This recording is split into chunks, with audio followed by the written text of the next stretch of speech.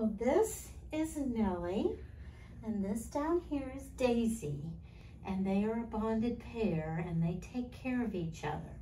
Nellie is a boy, and he's a little nervous. He's a ner he's a nervous Nellie, and Daisy was born blind. Nellie is Daisy's seeing eye cat, and Daisy is Nellie's therapy cat. So they take care of each other and they love each other very much.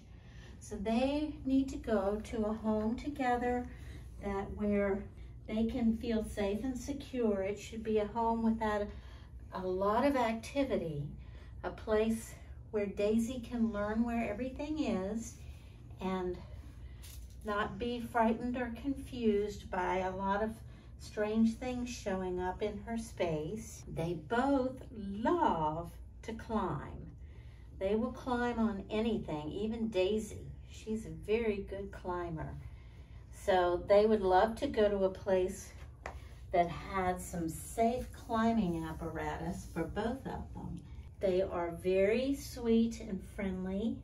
They love to be petted. They do get very frightened in a new situation and it takes them a little while to adjust to it. But once they do, they're just very, very loving and wonderful kitties. So if you're interested in meeting Daisy and Nellie, you can contact the Animal Welfare League and they would be glad to set up an appointment for you.